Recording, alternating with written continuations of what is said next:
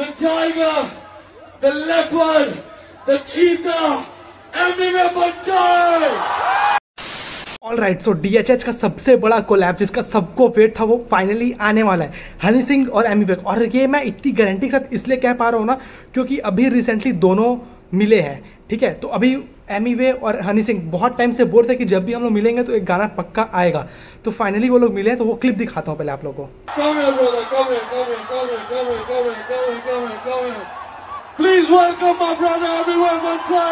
here,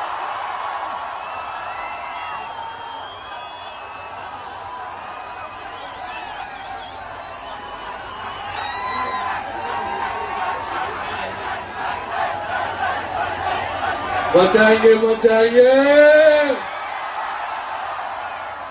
आज एबीवे को योयो के गानों पे नचाएँगे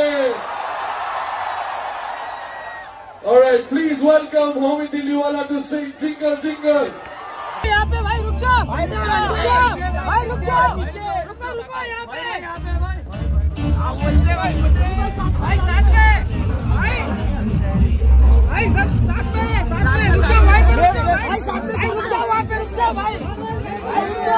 जाओ वेट वेट वेट हाथ हाथ निकालना भाई। अरे हाथ निकालना हाथ हाथ। द फ्यूचर इज़ हिम ये भाई Future is him, my brother. अरे भाई नीचे। रुकिए अरे यार आप लोग ही अरे कर रहे हो यार। पीछे देखो पीछे। खंबा दे खंबा खंबा दो गिरे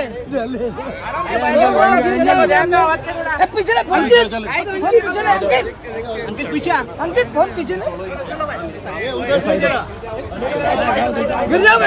क्लिप देखने के बाद ना मैं ये चीज़ आप लोगों को गारंटी के साथ कह सकता हूँ कि वो लोग का कोलैब आने वाला है और वो भी हनी 3.0 में, वो भी 2023 में हम लोग को देखने के लिए मिल जाएगा। वो जो बैंगर रहेगा ना, वो टू द नेक्स्ट लेवल रहेगा, क्योंकि द फ्यूचर इज़ हियर तो आप लोग कितने एक्साइटेड हो ये कोलैब को लेकर मेरे को कॉमेंट ज़रूर बताना, या फिर एच लिखना या तो ई लिखना। अगर आप लोग एमी के एमी के फ़ैन हो तो ई लिखना, और हनी पाजी के फ़ैन हो तो कोई सिंबल नहीं, बस यो यो लिख देना, ठीक है? चलो अपन मिलते हैं ऐसी किसी अगली मज़ेदार तक के लिए